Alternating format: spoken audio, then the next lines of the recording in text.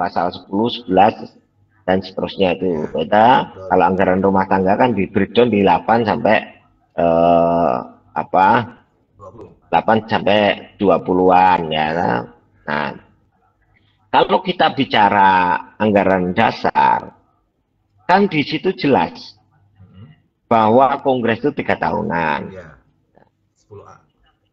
Kan notaris itu kan tidak bodoh toh, karena notaris itu paham bagaimana RUPS dan RUP apa RUPS dan RU uh, eh, apa namanya RUPS luar biasa.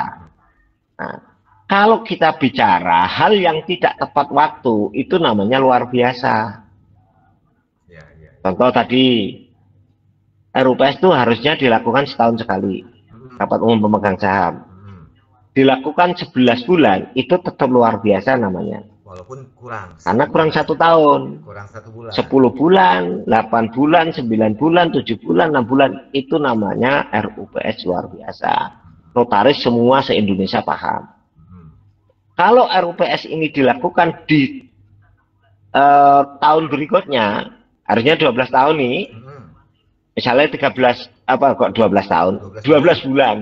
kamu jangan uh, uh, 9 bulan lahiran bro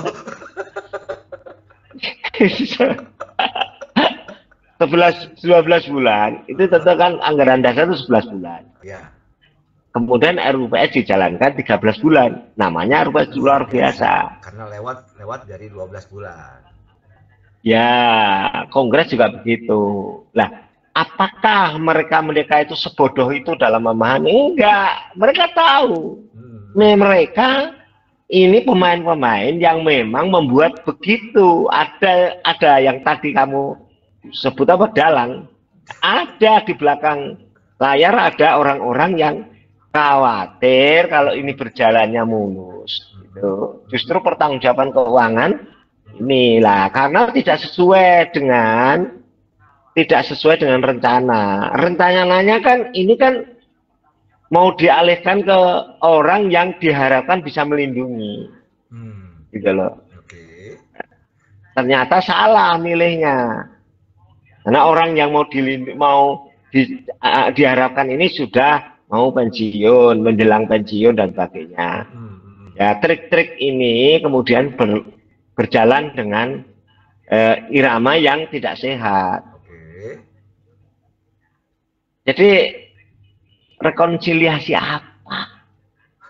Itu rekonsiliasi apa? Kan kalau yang di ini loh tadi ya kan tadi kan sudah ngomong masalah itu kan saya tarik kembali tadi masalah apa kongres atau kongres luar, luar biasa. biasa. Okay. Semua organisasi yang kongresnya itu tidak sesuai jadwal namanya luar biasa. Oke, okay, paham kan? Tuh itu pahami dulu itu legal standingnya seperti itu nah yang kedua kewenangan organisasi dan keabsahan organisasi yang saya katakan ini organisasi kita itu dari atribusi dari lahir dari Undang-Undang Dasar 45 dan Undang-Undang Undang 45 pasal 28 dan Undang-Undang yaitu Undang UJN ya. dan tentunya ada selain Undang-Undang UJN kemarin dihubungkan juga dengan Undang-Undang tentang apa namanya eh, bukan organisasi sosial itu loh. Ormas. Ormas kan? Hmm. tuh. Nah stat itu kan masih berlaku. Ya. pasal 2 dan pasal 3 itu masih berlaku bahwa dalam stat nah dalam stat eh, 68 70 itu tahun 70 tak nomor 68 bahwa yang namanya anggaran dasar anggaran rumah tangga itu di, diwajibkan oleh pasal 2 dan pasal 3 ya. Oke, clear. Tujuannya apa? Tujuannya kan untuk supaya tertib. Hmm. yang aku kalau bicara disorder atau disorder. Hmm. harusnya disorder bukan disorder, disorder ya kan? kan harusnya kan tertib nah orang tertib itu kalau mengikuti aturan jadi tadi yang saya katakan kalau mau rekonsiliasi, pertanyaan saya, kalau rekonsiliasi ini kan kalau positif toh, yang sana itu ada pembiasan terhadap pemaknaan yang sana sama sini. Nah ini kan enggak 25 peng, pengwil. Oh. Musuh 8. Musuh berapa pengwil? 8. 8. Eh? 8.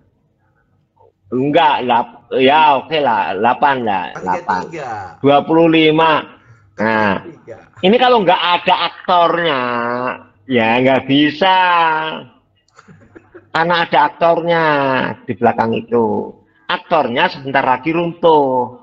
Kenapa rekonsiliasi rekonsiliasi? Bodoh kalau menurut saya. Adanya suatu eh, apa namanya pembelajaran yang akan membodohi hmm. dari anak apa anak-anak muda kita penerus generasi kita. Nah sekarang kan sudah jalan apa adanya dulu saja mau di mau diterima menteri atau enggak kan yang penting kan kongresnya kan sesuai dengan ini kan dengan apa namanya anggaran dasar rumah tangga itu yang sesuai itulah yang benar. Kalau nggak sesuai ya ya untuk apa Iya. Kalau seperti itu kan sama ada mengesahkan suatu ini loh, suatu perdamaian itu boleh. Mm-hmm. Sifatnya keperdataan. Kalau suatu perdamaian yang bersifat pidana itu kan ada ketentuannya beda dengan yang keperdataan. Ya. Nah, kalau yang eh, pidana itu kan kita kan anu ya apa namanya bisa restoratif justice. Kali gitu. Ya kalau itu masih di tingkat kepolisian atau kejaksaan. Kalau restoratif justice itu kan di situ ada deal.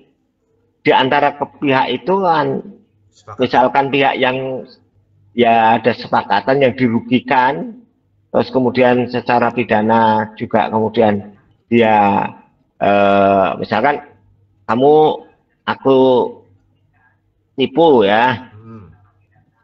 misalkan 100 juta ya. kemudian aku kamu laporkan nah itu sebenarnya penipuan kan sudah pidana hmm. tapi aku kemudian misalkan di dalam anu oke okay lah terus uh, ya aku sanggup galiin lah kamu mau ya udah nggak apa-apa itu namanya nanti direkonsiliasi tapi istilahnya kalau dalam pidana namanya restoratif justice.